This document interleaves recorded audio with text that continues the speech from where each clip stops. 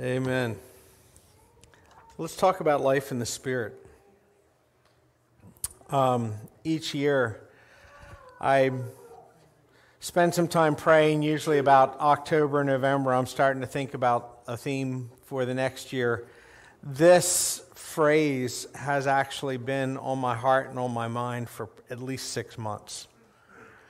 You know, last year um, we, um, we went through the book of Genesis and then um, did some, I preached through the Gospel of John. And um, shortly into the Gospel of John, we talked about how um, the life that John is talking about, the life that Jesus is talking about, is spiritual life. And how um, Jesus was teaching us how there's spiritual life and there's natural life, and that when we are in Him, we are living life on both levels. We are living out a spiritual life as well as our natural life. And Jesus came to bring heaven and earth together. He came to bring those two together. He came to show us the Father. He came to show us what spiritual life is so that we're living in, in both realities spiritual reality and physical reality. And then you remember um, Pastor Dan Ombija from Kenya came last year. And he was talking about altars, and, and Dave kept saying, you know, there's something about what he said, there's something about what he said that, that we need to get a hold of. And, and uh, you know, I, I went back and I re listened to that message, Dave, and he, Pastor Dan Ombija, defined altars as a place where heaven and earth meet where spiritual reality is transacted on earth. That's, that's what an altar is. And it's like, wow, that's, that's pretty cool. You know, and when we think about um, um, as a church, we, we are not just an institution, but we're also an altar. We're a place where hopefully if we're doing what we're supposed to be doing as kingdom people, spiritual reality and earthly reality are coming together here, both individually and also corporately. And where um, spiritual reality is being transacted in the natural realm through us as a church. That's an altar.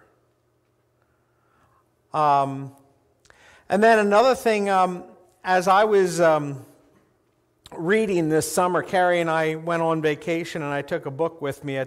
it's um, Simply Christian by N.T. Wright. Now, I, maybe you don't know who N.T. Wright is. I guarantee you that anybody who is a current biblical scholar has heard that name because he's probably one of the best New Testament scholars that's alive today.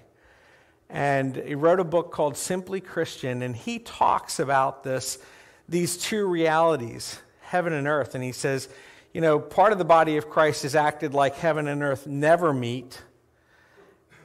And then you have the New Agers and so forth that are acting like they're completely intertwined and never separated.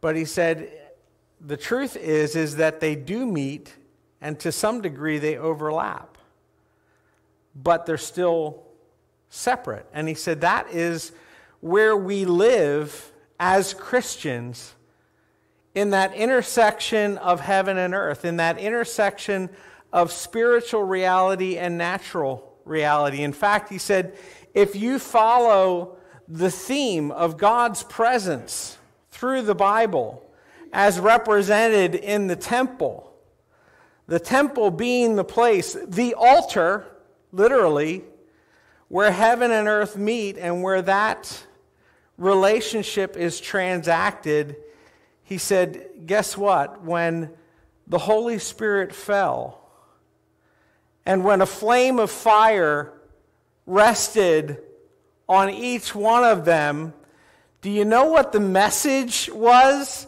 that God was sending through that? He was saying, You and I, each one of us who are filled with the Holy Spirit, are an altar. We are the temple, Paul said. Twice corporately, once individually. We are that place where heaven and earth meet and where that is transacted. That's who we are as believers. So, as I'm thinking about this and I'm contemplating this, I'm thinking to myself, how do we do this? how do we do this? I understand that natural reality. I, I, I, I think I've figured out now how to live my life and try to be a good person. But that's not what he's talking about. He's talking about living a life that is a demonstration of supernatural reality. That's a step up.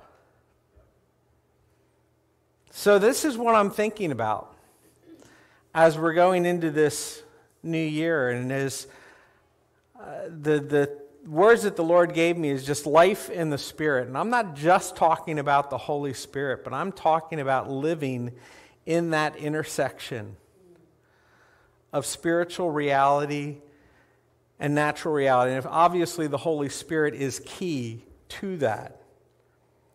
But I have this in my head, and, and uh, those of you who are in the, the leadership team, uh, you've already seen my preaching outline for the, the whole year. I sit down and I outline it all. Not that that can't change, but just that it's best to steer a moving vehicle.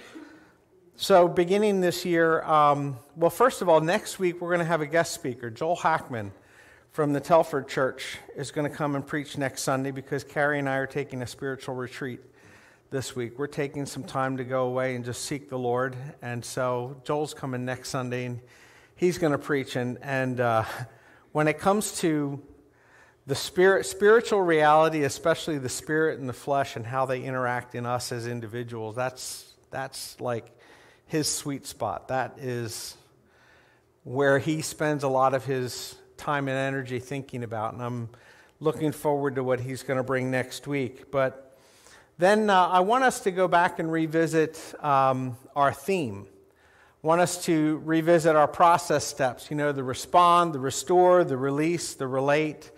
And um, partly just to remind us of who we are what our vision is what we are about as a congregation but also to try to answer the question what do those steps look like in light of life in the spirit? How can we take it up a notch to where it's not just living a good Christian life, but it's living in that intersection of spiritual reality and natural reality.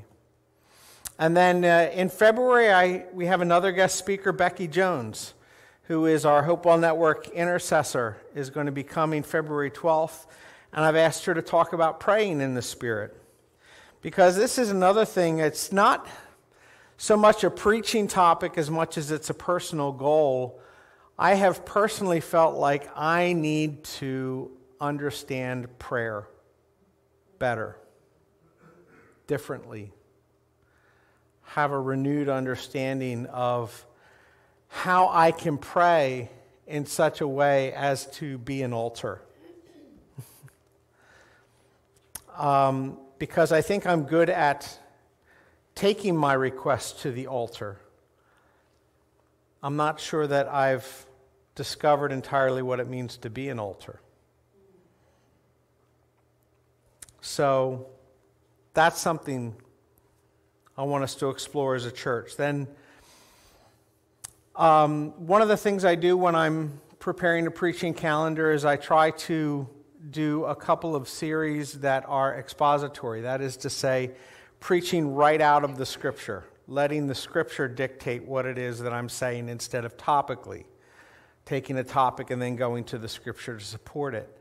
Um, so typically, I try to pick an Old Testament book and a New Testament book. Um, I'm going to begin with the New Testament this year. We're going to go through the book of 1 Corinthians. And I want to ask the question What does it mean to be a spirit filled church? I know we say that. We have it, one of our keywords on Google is spirit filled church. If anybody's looking for a spirit filled church, we're it. But there again, I'm thinking to myself, what does that mean in light of these overlapping realities? We're not just talking about a church where you're allowed to speak in tongues, right? We're talking about a church where heaven and earth meet, intersect, and where we are transacting the things of heaven. What does that mean? What does that look like? So that's going to be covering a good part of the first part of the year here. Along with that, um, it's been mentioned in our leadership meetings that we need to explore, we need to inventory what are the gifts of the Spirit that are resident here in the congregation and how can we utilize those? So, we're going to take some time to do that.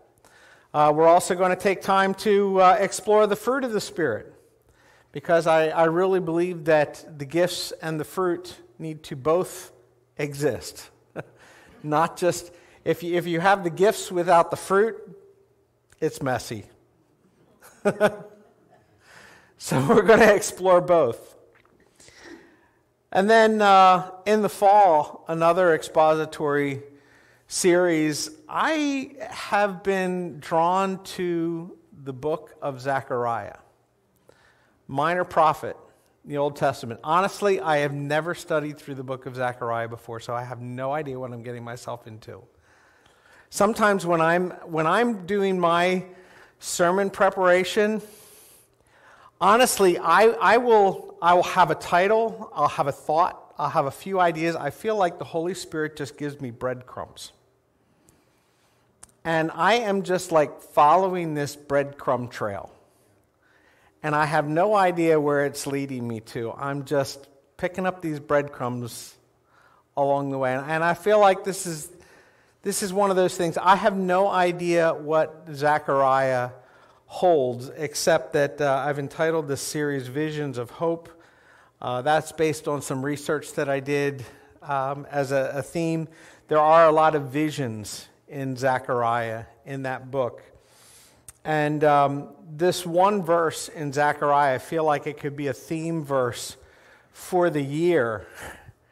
Um, Zechariah 4 6.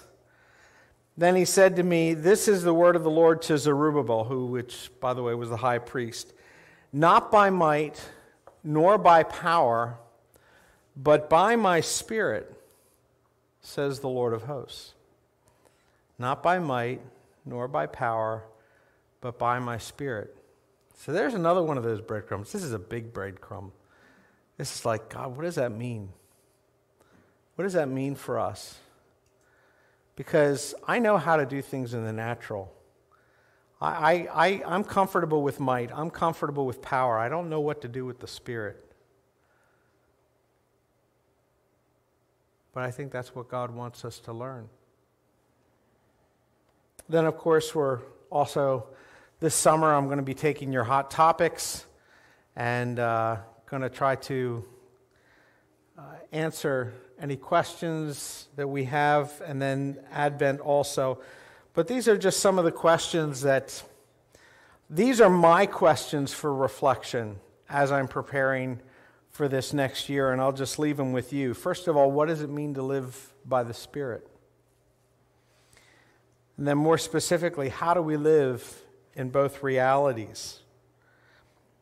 How do we facilitate the connection of heaven with earth? And then, how do we live out the true mission and purpose of the church in light of that?